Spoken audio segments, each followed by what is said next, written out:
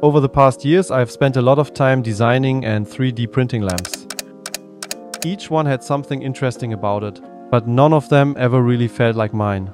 So I started wondering, what would a lamp look like that truly fits me? So I did some research and started working on the design. Mid-century design is all about simple, timeless shapes, clean lines and functional beauty.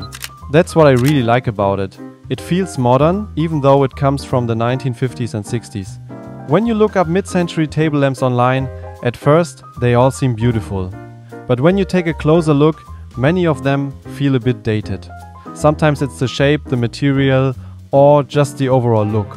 That's exactly what I wanted to avoid, and that's why I call my design modern mid-century. The design of this lamp is really simple. A clean base, a soft shade, nothing extra, it's minimal, but still feels warm. Exactly the kind of lamp I'd want to have in my home. Just as important as the design is the right material. Since I'm 3D printing the entire lamp, I'm limited to what's available in printing materials. But even there, the options are huge. For the cylindrical base, I went with a wood PLA blend. With around 50% wood fibers, it feels very natural to the touch.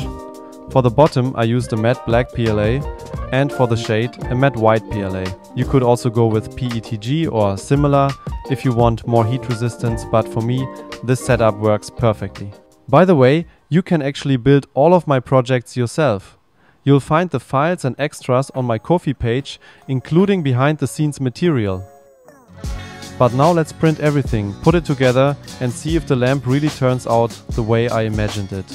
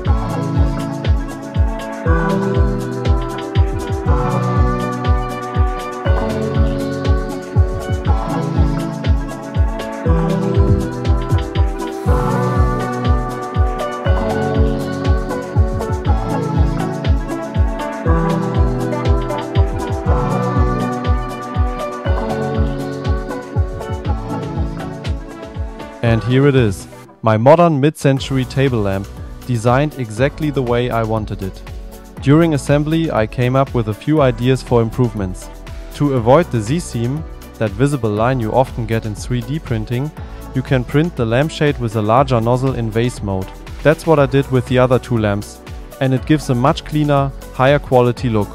I also printed the base with a higher infill to make it heavier and give it a better feel in the hand. And of course, you can print all the parts in different colors if you like.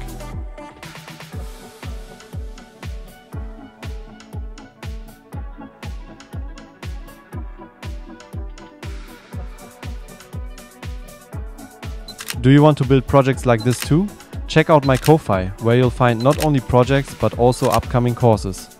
Let me know in the comments what you would have done differently on this build and what project you'd like to see next. See you next time!